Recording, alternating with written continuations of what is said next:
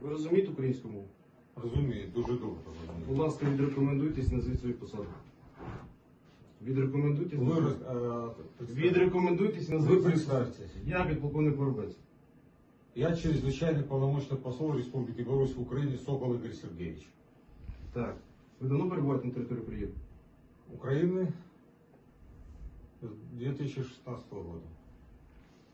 Значить, наш голова Державної прикордонної служби України, Так. генерал-майор Дейнека Сергій Васильович, наказав передати вашому председателю пограничного комитета Республики Беларусь, генерал-лейтенанту Лапо, пламенный привет и лично передать 30 серебряников. Это приказ. И это вручить своему генерал-лейтенанту Лапо. Это приказ для вас, но не для С меня. презрением.